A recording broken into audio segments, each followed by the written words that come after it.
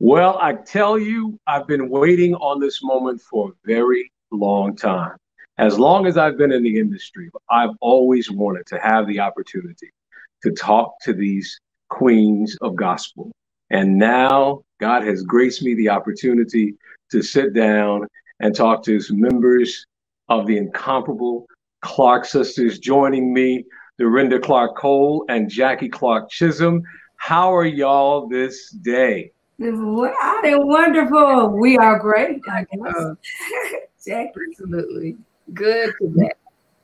It is it, it's amazing for me to, to have the opportunity to, to sit down, as I said, to talk to you in, in this context because we are inspiring so many people. And the whole idea behind what we do is inspire you. And this whole weekend is about that. And when we talk about inspiring, you have been inspiring so many people for so long. I mean, what, 40 years now in, in, in the business, doing what you do? Talk about how that has, what that has meant to you. Because you've really changed, you changed gospel music in so many different ways. Well, I think that, um, I don't know if it has, it, you, are you asking, has it changed us? No, how how it makes you feel to know that you have changed so much because I oh. I think about it this way. I think about so many people that not only have you influenced, but you also have people. I remember that, uh, when Snoop Dogg reached out to you guys. Uh, people are sampling your music left and right. So you have ch- you have really changed the music ind- industry in a way a lot of folks haven't.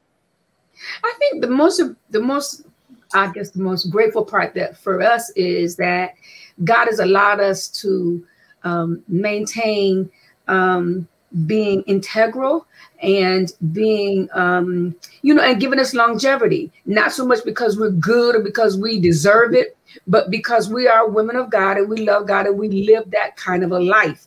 And i think with that being said i think that people understand and they see that what we sing about on the stage that we really do live it when we step off the stage. And i think that's more important than anything to me. Uh, Dorinda can say what she feels but i think what my mother instilled in us um, and how she brought us up about being women of god and not making and see the thing that i find that's most intriguing is my mother would always tell us don't let anybody stumble over your life and we have tried to live up to that standard of being women of God. So what you see on the stage, you see off the stage as well. So Dorinda can add her part. Well, I, I think, um, and, and I'm just grateful to be a part of these lovely ladies. Thank you. Thank you Thank you. All these years born and raised um, with uh, these ladies and to see the, it really stems from the um, the awesomeness of my mom, the late great Dr. Mattie Moss Clark, who trained these girls up um, in a house on Calvert, um, singing, and then moving to Sorrento, where our whole life began. Yeah, and um, from there, um, it's just so many great memories there because you can't really talk about where we've gone until you can you know see where we've come from and i think the movie has talked about that but to be in, as they say, the game, um, uh, the game of ministry. Well, it's not ministry; is not a game, but to be in the industry um, all these years, I think is such an honor um, that people would continue to hold us with um, high regards, um, us as ladies because now um, there are a lot of young ladies that are coming up, and it's more than just one field um, of, of, of, what, what they call a career or, or, or, what have you.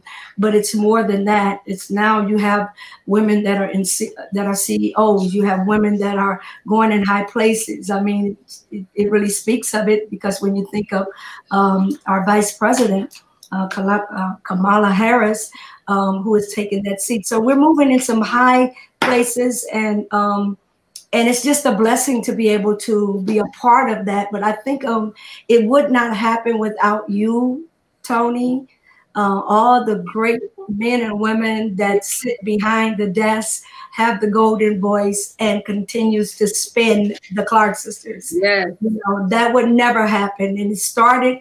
Um, we must say, it really started really kicking up when um, uh, Frankie Crocker was the one that found you brought the sunshine. So I, I really have to get hats off to all of the radio personalities that have really um, did a lot of the Clark sisters, uh, spend a lot of the Clark sisters music. You know, and, and you mentioned uh, Brought the Sunshine. I I remember I was just starting my first year in in the industry, and when that song hit, we played that song so much. Thank you. And, Thank and, and I'm, I'm gonna tell you, we played it so much because it did exactly what it was supposed to do. I mm-hmm. mean, we did we never thought it was a nobody thought it was a gospel tune. Right. It was about just being happy and inspired. How did it make you feel to know that it crossed over, but not only did it cross over, it impacted everybody. I, I think the most important thing about that song was the fact, Tony, that the song was out two years and was never played on a gospel station. And so for it never to have been played on a gospel station, but for God to let it go to an R&B station and for it to become as big as it is, um, I, I think that that was the most impactful thing was that the way God strategically allowed it to fall into place and to fall into the hands of the man who actually played it by mistake. I mean, the, the, the thing that really gets me with Mr. Frankie Crocker, and we give him all the honor um, for what he did for us. But I think the thing that was most intriguing was when he said, when he was telling us how it happened, he was telling me and my mom, he said that he was running late, and you know, back in the day when you had to put the big LPs on the uh, spin right. on the window, he said when he he said he said he looked at the album cover and said, "Well, you bought the sunshine is the title, so that must be their hit." Never knowing that the song was never played on the gospel station. Wow. The song on there that was the hit that year was "Endow Me." if I'm not mistaken. It was Endow Me. So that's what the gospel station was really blowing up. It was Endow Me. Mm-hmm. And so just for God to allow it to transition out of the gospel hand into the R&B hand and for it to become as great as this song has been. Mm-hmm. Um, it's just, we're just grateful for what God has done. Truly grateful. It, it, that's that's an amazing story. I, I never knew that. I, I, I grew up loving Frankie Crocker. So, you know, knowing that he was the person that, and, and the way that came about, truly God. Absolutely. Absolutely. yeah. I love that. Now, from an, let, us get into the evangelistic side of, of who you are, because your, your music does exactly that. It speaks to the spirit, it mm-hmm. speaks to the soul, and gets people to understand who God is. What has that journey been like? I mean, I, I, I know having the mother that you had, you have really no choice. Right. But, but in the context of really what your music has done, it really has changed. When I say it's changed people's lives, mm. when, when I when I think about Mariah Carey, when I think about uh, Queen Latifah, when I think about some of the other folks that you have influenced, and they always mention your name, that's that that speaks volumes to the fact that you are the change makers in this business across the board. It doesn't matter that it started in gospel. So mm-hmm. how does it make you feel to know that impact and these names of folks are because there's there are stars, stars, and singers, singers, mm-hmm. and y'all are singers, singers. If that that was really good to put that like that, Tony. Um, you know, and I think it, and I guess every time we think about how we ended up where we are. And you got to say that uh, I guess we've been out here a long time to know that um, people like you said, Mariah, um, Mary J, Queen Latifah, and um, Missy Elliott, Mary J. Blige. I mean, these ladies, they have been, they say it, that they have been listening to our music um, growing up. And so that really speaks volumes for us, even in this late stage that we're in, because you never know who's listening, who's watching. And that just goes to show you just, just what you were saying about evangelizing. Um, and my mother always told us, you know, you sing to inspire, to lift people because you don't know where they are. Right. And that's what um, our music, um, as people say, have done. It, it, it catches them in a place where they're they they just no control and and then all of a sudden when they hear the music they are you know they automatically just start to listen and it like a soothing um, meditation for them it puts them in a place where they can really say oh i can make it through this and that's what evangelism is really all about is to inspire to uplift to to really bring people in to let them know that it's more than just what meets the eye. We're just the conduits exactly uses to to to connect. So we're just blessed to be able to uh, be able to share this. And then I got to say about my sister Twinkie, Twinkie's music is, transcends all generations um, because we've always said that to her, her music is timeless. Anytime you can take a pray for the USA and um, and play it today, and it's going with what we're dealing with right now. And 30 uh, years old, don't forget that. Yeah, it's it's just all of her songs have just met up, met people where they are, and then met our nation um, where it is. Even right now, there's songs right now that we could sing that would lift, you know, people. So that's what really we was hoping that people understand. That's what it was all about. You know, go ahead. I'm sorry. No, no, no. Go, Tony.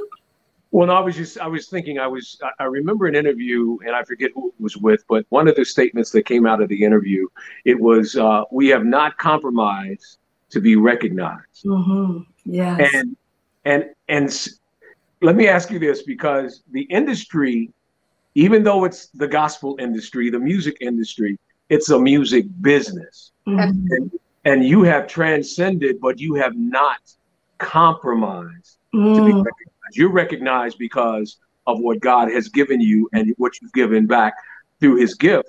Mm. So talk about that a little bit because your realness, your truth, and who you are.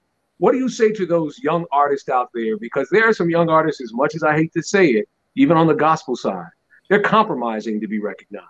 Wow. And and they're not speaking the way that it should, and you don't get that anointing when you hear it.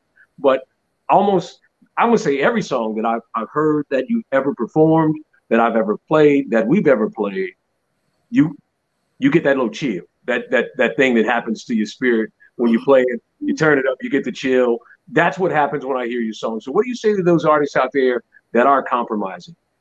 I think the most important thing that I would say to the uh, artists today is um, stay true to the to your ministry. So if it's your ministry, see, because some people do it because they just want to perform. Even though they're doing it in the gospel industry, they're doing it because they're getting the opportunity to perform and they're getting just a chance to see themselves on a stage or on a platform that they probably never thought that they would get to. And so that's what happens when you get a one-hit wonder person. You know, somebody who has had one hit and that that and they ain't had no more after that. That that was it, the beginning and the ending. So right. I think when we look at the young artists today, I think the most important thing is a lot of them they they they do what they do, but they compromise to to uh, gain a greater stage or a higher place or to get with somebody that is doing something that they really want to be connected with. I think with us, it was different because my, what my mom taught us is that you don't compromise when it comes to God. That either mm-hmm. to do what's right and you're going to live right. You know, and she used to tell us, you're going to live safe in this house. So you're going to say you save and filled with the Holy Ghost, whether you save is not filled with the Holy Ghost at all. So it's going to be your bad if you ain't doing that. So I mm-hmm. think that to me, like when I look at the young artists today, I think that they, a lot of them compromise because they're trying to get to a different status in the industry. And the most important thing about m- maintaining your status is what it took you to get there, you got to keep it. And see, when God puts you on a higher level, you ain't got to work at it. God blesses you and He anoints you as long as you're living for Him and committed to Him. God will bless you and anoint every stand that you take in life. He will, He will, it'll, it'll happen, and you don't even know why it's happening. But He making it happen. It ain't you. So there it is. Yes, ma'am. And you know what? I, am going to say this to you because this is really crazy to me. This is really crazy. So I'm going to share something with you. So I'm going to reach to my device, and you were talking about the Holy Ghost. Now I've got I've got the Bible verse that pops up my daily uh, meditation. Okay. It came up, and full of the Holy Ghost and of faith, and much people was added unto the Lord. There you Wow. go. See, I was like, how spiritual you said it. It popped up. I was like, that, that's amazing. That is truly amazing. It really.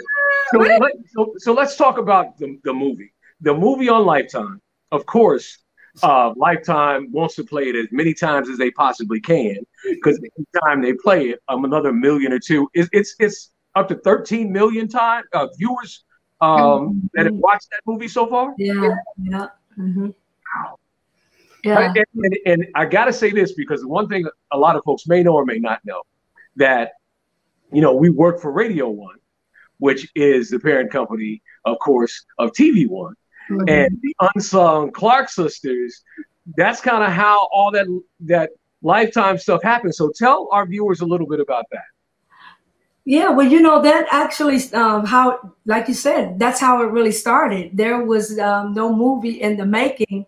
Um, uh, I don't know because Holly, it was Dr. Holly Carter, of course, Mhm. uh, who's the executive producer, who, um, you know, she she's a part of us. And uh, when I say us, I'm talking about the, the Church of God in Christ. And she's always had some love for us. And so she says, I'm going to do something with these girls one day. And she always would do little spot dates with us. But um, this particular time, she says, no, this is going to be like a major project for me. And it was the TV one um, Unsung. And so that's when she got to know about the Clark sisters and how we all started and, you know, growing up in that home. And it, so she got a little template of how and what the Clark sisters were all Right. about, but not knowing that it was a whole bigger picture Oh wow! what TV One had. Yeah. So TV One, we thank God for TV One. Yes, Yeah, God for Miss Hughes. yeah. Uh, but you know, putting that out there to let people know this because that was the beginning of people right. really knowing who the Clark sisters were. And, and I say that um, as far as the uh, industry, the secular side, Mhm. knowing who we were. So so Miss Hughes had a lot to do with that. Um, that that part because people didn't know because everybody watches TV One. Um, Everybody's looking into um, Unsung because they want to know what happened to where the artist and what they've done. Right. So this was the template for the movie, and uh, I don't think Dr. Carter thought that it would have gone this far, but she knew she had it all in mind that this was the next thing was the film um, or the movie. And when she put that thing, um, brought it to the network, um, bam, and this is where we are. And we never thought that we, and we were, I think, the fourth highest rating uh, movie, rated movie Yeah. on Lifetime. So Yeah. that really speaks volumes of the Clark sisters, and um, just thank God that you know it, it looks like to me Twinkie's song is right again. The sky is the limit. Right. You know, to what I can have. You know, believe and receive it. God will perform it today. That's looking for a miracle. If you didn't know it, Mhm. Absolutely. Yeah, I mean, I, I just I, I love the story, and even I mean, it just goes to show how even as long as you've been in the industry, you stayed true as you mentioned before, Right. and and and God is continuing to bless, and you are continuing to influence and change. As much as I hate to say it this way, change the game when it comes to because because I mentioned earlier about the folks that you influence, but Mhm. talk a little bit about when Snoop Dogg gave you a call, because that that's a, you know, when he did the gospel album. I mean, he called a lot of folks, but I thought to myself, and then when he, Clark sisters, that was Snoop. Yeah. I'm like, really? But So talk a little bit about that. With Snoop, I think with Snoop, Snoop and Jay Drew, I guess we're talking, and that's how it kind of came about. Um, Mhm. But but if you talk to Snoop, Snoop shared with us when we did it. We did the um, we did the um, what you call that thing at the beginning of the year, the football thing. What do you call it? That was the the um. It's a football thing that comes in January. What is that? It's the Super Bowl? Super Bowl. Super We did Bowl. Yes. we did the Super Bowl. We did the Super Bowl concert. Us and Rance Allen, Wolf, um, Snoop Dogg, and Snoop Dogg shared with us then that he he that he grew up listening to us because his grandmama made him listen to us. And so, because his grandmother made him listen to us, he said he just fell in love with everything we did, and he would listen to all our music, and he would uh, occasionally he would play, he would be on Instagram. He would be on Instagram doing his thing, but he would be playing the Clarks and stuff and just kind of bobbing to it. So that was kind of like how he came about. And then you got you got Rodney Jerkins, who has loved us and has been a friend of our family for many, many years. Mm-hmm. Uh, and then you got Jermaine Dupri, who uh, we um, fortunately we set we met with him um, at Tyler Perry's opening. That's how mm-hmm. we met Jermaine. That's how let me tell you how Jermaine did. So Jermaine came over to our table where we were eating after Tyler Perry's thing, that Sunday thing we did. We sang, and he came to our table and he said, I just want to say this to y'all. Ain't nobody under this tent. And it had to be about a thousand people under the tent. He said, There's nobody in this building that can sing better than y'all. I said, Really? So this is me. So Dorinda was there, and then Twinkie came up because he wanted to take a picture. So he said, he said, Well, I love y'all. I, I, I would love. I said, Well, you ain't asked to do nothing with us. I said that he said, Well, you ain't said nothing. He said, What's your number? I gave him my number. Now, this now mind you, this was on Sunday. I gave him my number. He gave me his personal number. On Monday at 11 o'clock in the morning, Jermaine Dupri called my number. And he said, Okay. He said, So we're gonna make it happen. I said, Okay. I said, uh, send us some tracks. And I think Wednesday he sent me tracks yeah, real bad. We we did. So I think that just just being able to be approachable, you know, and Dorinda can share her side, but to me, being able to be approachable, because a lot of artists don't make themselves, I mean, even the new artists, they don't want to talk to certain people, or they don't want to, you know, when you don't want to mingle and you don't want to, you know, uh, uh, make contact with people, or mm-hmm. you, you know, you feel like you you you know, you're greater than they are. You just don't. I mean, and I one thing I was telling somebody the other day about our generation is with our generation, we get along. We don't talk about each other. We mm. don't See, that's that's key. That's real important. We are we love on each other. We may not. I can't. I, Tony, I could not stand you, but I would never tell that publicly. Absolutely. Okay. And, and I think that's one of the things that new artists today when they get mad at somebody, they want to get online and just say things and say things that they shouldn't say. Mm-hmm. When you don't know whether that's going to be a bridge for you or if that's going to be a, a, a, deep sea diving for you and you ain't coming back. Hallelujah. Amen. Absolutely. That's it. So, so you, you talked about online with what's going on because I mean that social media is a big deal now. So how is how is that been for you guys? Because I know, I don't know if you got a team or anything. How has that been for you? Because I mean, you can look out there and see some some of the things that you guys are doing and see some of the work behind the scenes. Kind of, what's that been like for you? Well, that's that's been exciting. It's been exciting, and I I really think um, social media is good, um, especially now for the pandemic because we we can't do no concerts. mm-hmm.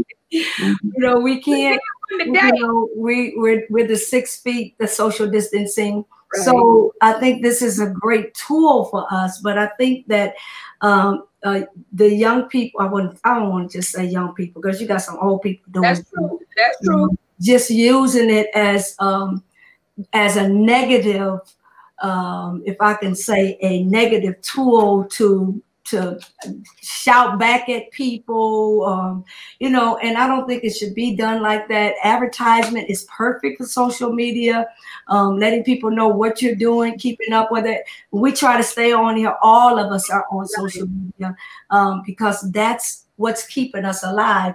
The only thing is that I just don't want them to um, take away the, the radio.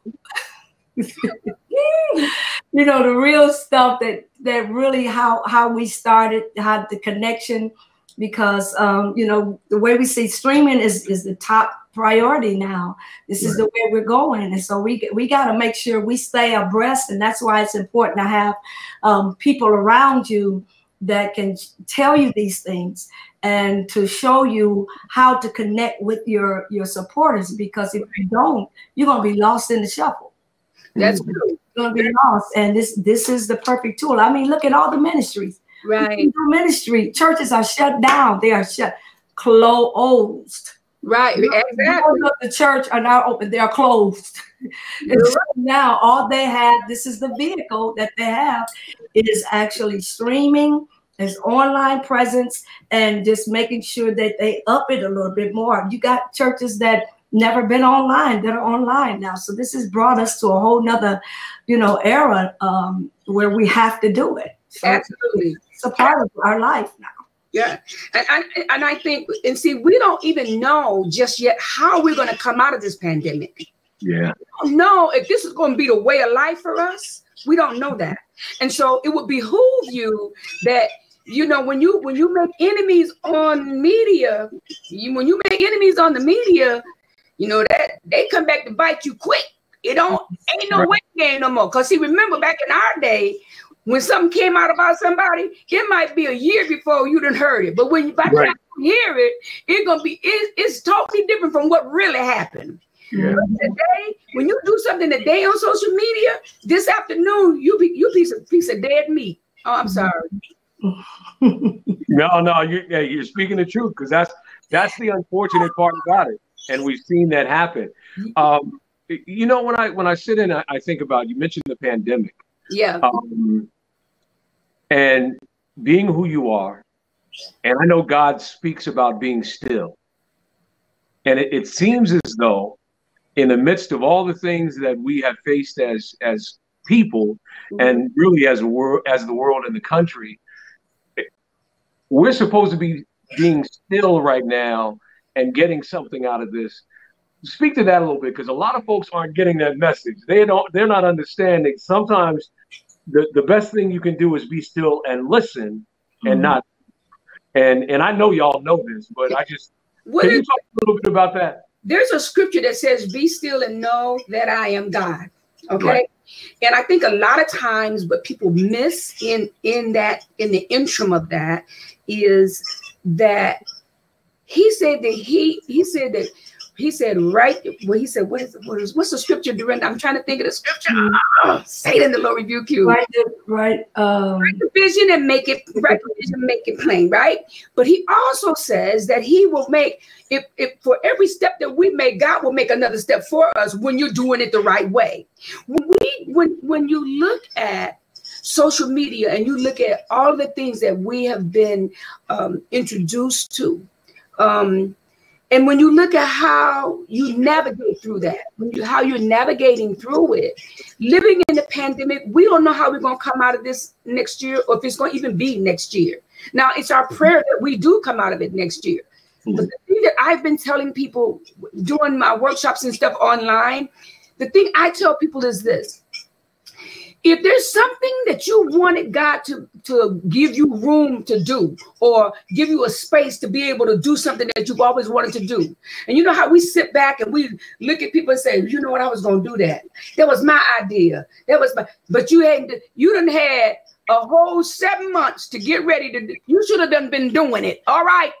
Right. If you been doing it, then ain't, you ain't got nobody to blame but you.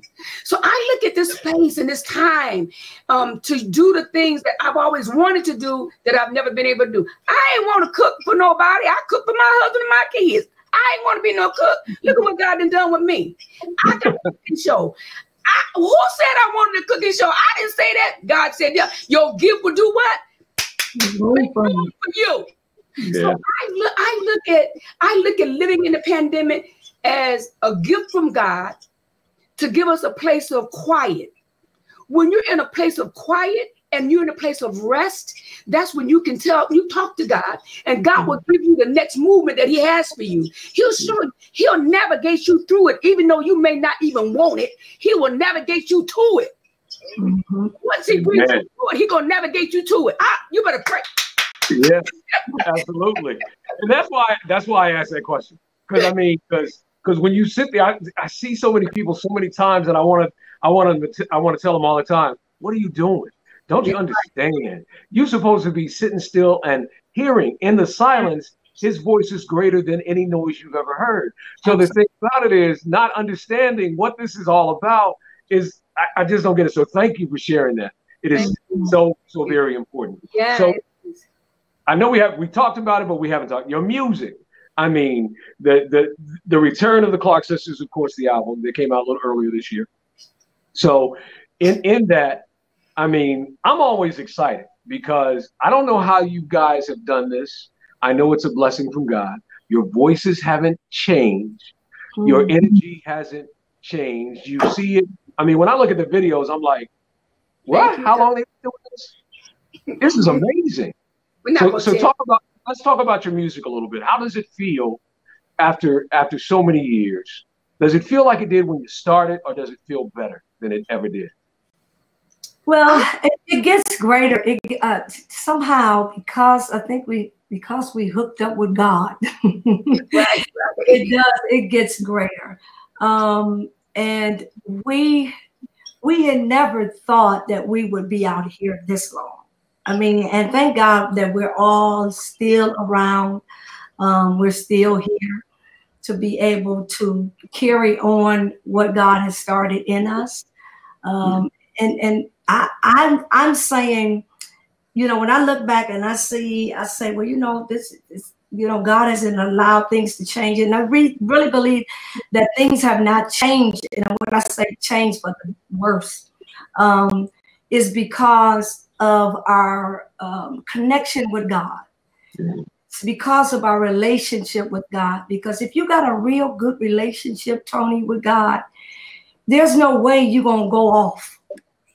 You know, if you've got a shepherd, if you, you're staying Exactly. true to shepherd and you're not hopping all over the place and you know you're paying your tithes and doing what you normally would do if you were in the church Right. um, and you're hearing the voice from God, um, then you will continue to stay true to what God has committed you to do. Lord, I'm a poet and didn't know it. Stay true to what God has committed you to do. I'm a poet and didn't know it. Stay true to what God has committed You you stupid. and Absolutely. God has committed you to do something, that means you have made a vow. And I can't turn back on my vow in a pandemic. Right, right. It's too crucial. 10 months, I'm it's it's going on 10 months that we are in this, and I can't afford to switch up right now. Mhm. You know, if they're telling me to stay in the house, I'm gonna stay in the house because I know that there's something greater for me with me sitting quiet. Right. You understand what I'm saying? So that's why that's why I and I really believe that the reason why we have not veered away is because of our connection um, with our church, um, with our, our bishop. We constantly he keeps us on that road too, making sure that we are, you know, Right. we can't go nowhere. We can't travel. You know, all of that is a part of the pandemic. So we just stay true. And then God provides for us even while we're sitting still. Now that is a blessing. I listen, That is true. I got my own stuff right there.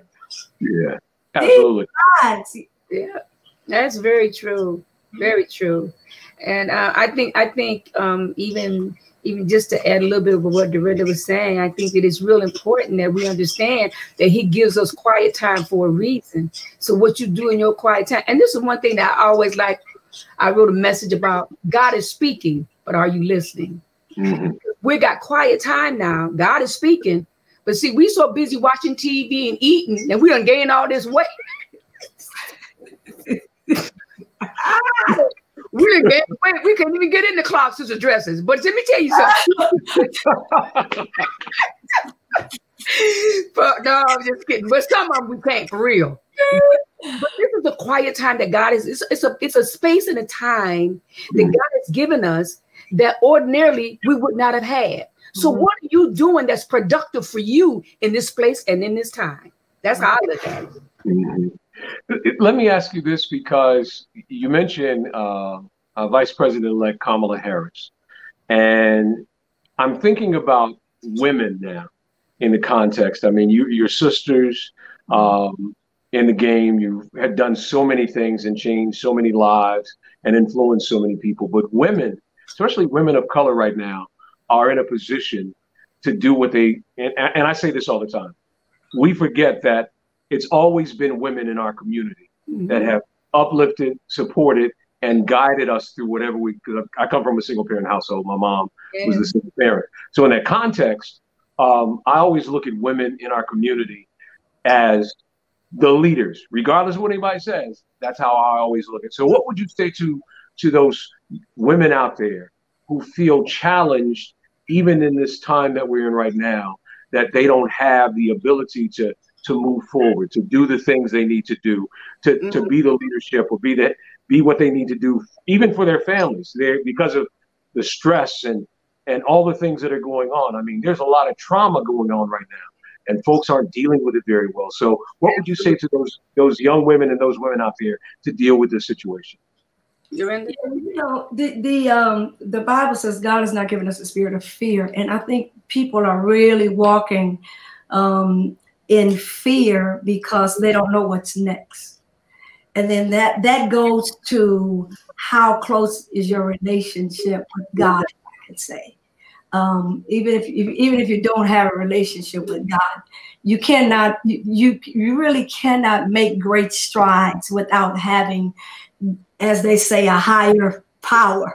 It's really what I said. It's God, but um, to to see uh, where we are going, um, yeah. God has allowed this day to happen to show that women have great influence in a community um, not just in the community, but just in our world, period. Um, when you look at it, uh, uh, look at all of the women that we're uh, standing, you know, we're standing on their shoulders. Mm-hmm. You know, we've seen so many people that have um, achieved, and even when you look at people that are living today, I mean, you you know, you look at the Oprah Winfrey's, and you look at all of these other one talented women um, and I'm just speaking of our, our race because our culture, because that's what we're part of. But you know, you look at that and you see how they matriculated, and you can tell that the road has not been easy. If you follow their path, you'll see that their road has not been easy. Anything you do, and I'm, and I'm speaking for those of, that are on that path of success, that path that you've been struggling and um, even in this pandemic you you this is the time to really kind of pull yourself together and say i've got to do this i've got to do this there's dreams there's goals there's aspirations um, inspiration inside of you. There's things inside of you right now that you don't even know you have until you get to that quiet place. We keep talking about that quiet, quiet place. Exactly. You cannot, and I say it all the time, Tony. I said, in order for you to get insight, in order for you to get inspiration, um, even from God, you can't even have two people talking at the same time. It's only one person can talk, and only God can give those ideas while you're in that quiet place. And uh, when I when I see all of the, the prominent women um, that are in place right now, that just shows you that there is so much that we can go for, so much that we can achieve. There, don't limit yourself. Those that have been, you know, you you see yourself, and I see myself doing this. I see myself. Okay, if you see yourself, keep dreaming, keep dreaming. That day is going to happen you know, I think about myself and I, all the things that I've wanted to do, and and God has allowed me to. I, I never would have gotten the uh, the clothing line um, thing that I'm doing right now if I had not have said no. I'm going after it you know, and to do it after 15 to almost 20 years, you know, it's, it's got to be in you to keep going after it. And I just want to commend all the women that are are in that field, whatever field you in, don't stop. Um, Jacky has a good thing about journaling. She she journals and you know, it's something that I'm trying to do. It's, you know, just taking me a little time, but um, but that journaling thing, it, it's so important for us as women, so that we can we see where we want to go, but sometimes it takes a little longer to get there. Um, but we can we can do it. We can do it. I think, and I think Tony, you know, I when I think back, um, not to tell you my age or nothing like that, because I'm not going to tell. Oh, don't, don't tell your age. Don't tell your age. I'm not, I'm, I'm, not that far behind you. So I know what you mean. Oh yeah, you are far behind me, sugar. Oh yeah. No, no, not You'd be well, surprised. I think, I think, when you think about it, and I don't know if you've even seen the movie, but if you think about the movie years back, and when I was having my children in um in in the six in the seventies, when I had my babies, how we had a movie called there was a movie out called Roots. I don't know if you remember that. Oh yeah. But in that movie, you saw how the women were the one they were the strong people who held their families together. Even when they were pulled apart even when they was raped by sharecroppers even when they had to t- take the children raise the uh, children that they were they were being slaved under until they had to pull their own families together. How they came together how they kept things together how your mother tony had to do everything she did. She might have worked two or three jobs in order to make food on um, put food on your table but you had everything you needed because God created to us to be strong women because of the mm-hmm. things that we have had to go through and the things that we've had to endure. All the injustices that we're still to this day are still living through it. And the mm. only way we're going to rise up above that, and the only way we're going to come out of that is we got to stick together. That's the one thing about us that we got to learn how to do. Because when you see the, the, average white woman, and I'm just saying this, the average white woman doesn't have to struggle the way the average black woman has to struggle. When we when I graduated from college, when I graduated with my nursing degree, if if I when we went to do interviews and my friend was working in in in um human resources, she would tell me, Well, you're gonna make $20 an hour, but the white people, white ladies was making $27 an hour. So see, mm-hmm. I know the injustice and the inequality that we have had to endure. But one thing about God, God will never leave, He said he'll never leave you nor mm-hmm. forsake you. And he said that your gift gonna make room for you, and every dime, every dime that you get, he gonna make sure you get two or three more. So this, this, this hang in there. That's all you gotta do. Just hang in. Well, you know what? I, I knew this was going to be exactly what it was. Too short, and, and because I could sit and talk to y'all for so long. And I, I want to say this to you too, because and I want I want our viewers to know this. Of course, this is an Inspire U weekend, and and these women have been inspiring so many people for so long, and and like I said earlier, changing lives. But I want them to know y'all had a very busy day, and you sat down and took your time and and shared with our audience who you are. You are absolutely delightful, and I just want to say thank oh, you, praise thank you, and bless you. Oh, thank you, Tony. We appreciate that. We want to make sure. We said we weren't going to let this day go by without being with Tony today. you know, we were tired. We had to do about 20 songs. You know. Well, I just I just thank y'all so much, and I'm gonna keep I'm gonna keep praying for y'all because you. you know your your success is a testament that loving God, believing in God, and being faithful, what it shows. So thank you so much for being faithful. Thank you, Tony. Thank you, Tony. Right. We want to say thank you to you for thinking about us enough to want to talk to us, enough to play our music. I want to thank you for that. I appreciate what you've done and all the people who in your station that spin our music. Please let them know that we love them and we appreciate every time they put a Clarksville record on. They got love from the Clarksville and and look, and we put some blessings on them. How about that? I love that. Well, thank you. Be blessed. All right, you too. Thank you.